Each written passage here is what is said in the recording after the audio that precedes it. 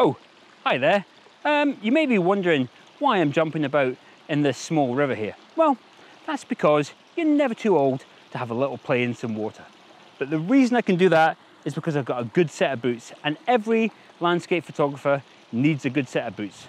So later on in this video, I'm going to tell you about these Apex boots, why they differ from normal wellies, and why I think they're an essential part of any landscape photographer's kit bag.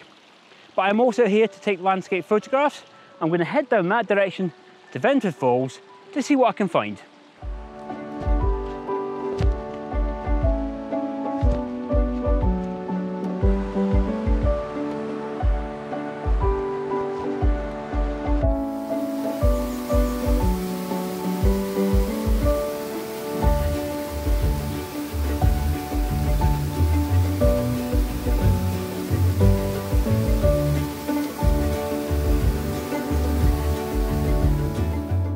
Welcome to one of Dartmoor's most iconic and beautiful spots, Venford Falls.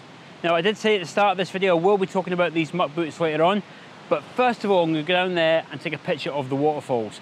But I think I might have a problem. So I've been down there and I can confirm I've got a bit of a problem. Not so much with taking photographs but more with shooting video.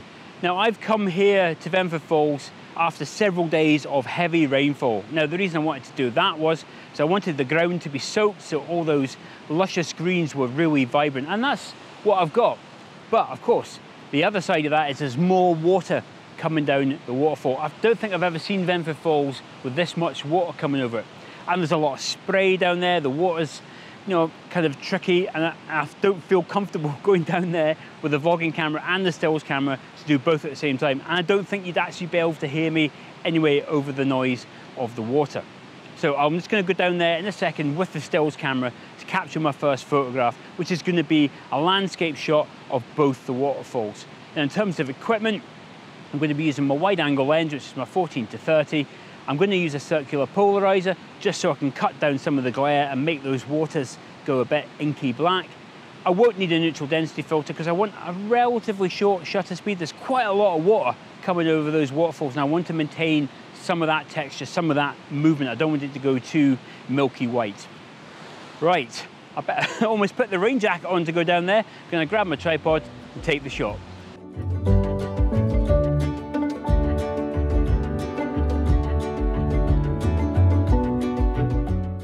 I'll be taking more pictures of Venford Falls a little later in this video.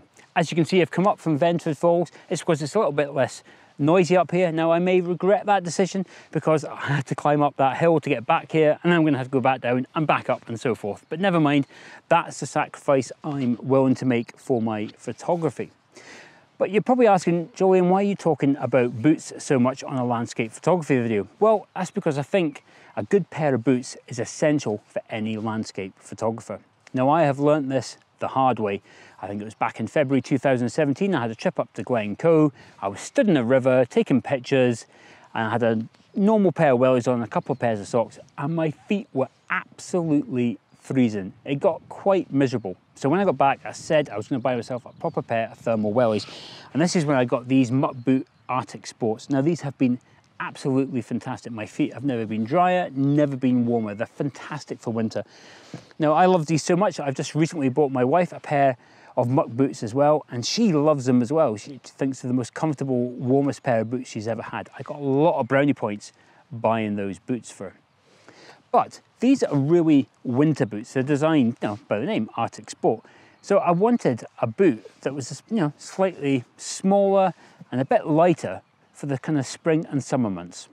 So for those warmer months, this is where the Apex boot comes in. Quite similar to the Arctic Sport, but they are half the height. They've still got that neoprene lining. They've also got this nice mesh lining in here.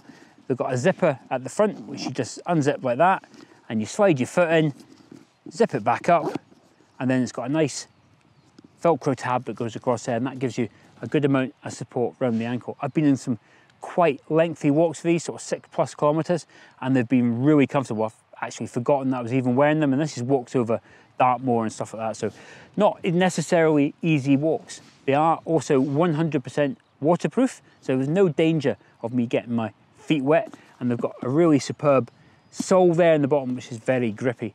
Um, this is particularly important for me. So even during those kind of summer and spring months, the ground and the tors that I walk about and can still be quite wet. So I still need to have, be quite sure-footed. So this gives me a bit of confidence when I'm walking along uh, or climbing up some tors. Also on the way up here, I was down at Holne Bridge taking some riverside shots and I was walking along there quite slippy, the stones are wet and I had no problem, felt perfectly confident placing my feet along the riverbank, even placing my feet in the river so I could get, get those shots. Real confidence building boot, but it's just a little bit lighter weight, a little bit better suited for those warmer months. I learned a long time ago that having good outdoor clothing is almost as important as the camera gear that I use to take my landscape photographs. There is no quicker way to kill your creativity than by being cold and wet. This is why having a good pair of boots, I think, is an essential item for any landscape photographer. But like I've got a pair of thick winter gloves for my landscape photography and a slightly thinner pair for when it gets a little bit warmer. I also glad I've now got a pair of boots to match. So I've got my Arctic Sports for the winter and I've got these Apex boots for when it gets a little bit warmer. So if you're looking for a pair of waterproof boots that are kind of lightweight, sturdy and give you plenty of grip for those good uneven surfaces when you're out taking your landscape photographs, I think you can't do much better than a pair of Apex boots. If you want to check them out, I'll include a link for them in the video description below. Right, I'm gonna head back down to Venford Falls in a second, but before I do, I'm actually gonna share with you those photographs that I took at Holne Bridge on the way up here earlier. And also, what is the best bit of outdoor photography clothing you've bought for your landscape photography? Let me know in the comments below.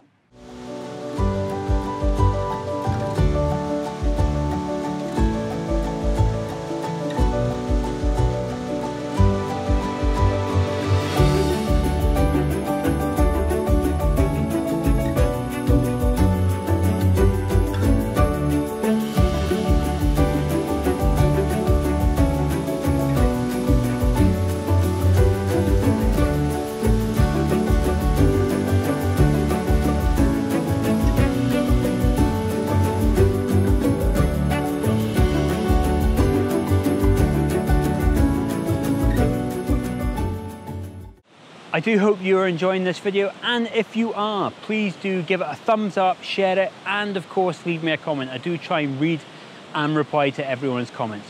And if you want to see more from me, remember to click on that subscribe button and click on the bell icon. That way you'll receive a notification as soon as I post up a new video. Time for another photograph. Same equipment, but this time I'm going to put the camera in a vertical orientation. It's going to be a bit wet down there and it's times like this I'm glad my camera's weather sealed.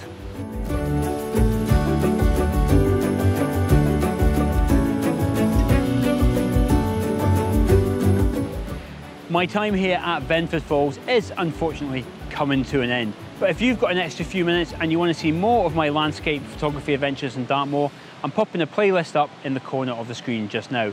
And if you want to know more about those photography gloves that I use in the winter, why not check out that video, which is appearing in the corner of the screen as well. But until the next video, I'll see you then.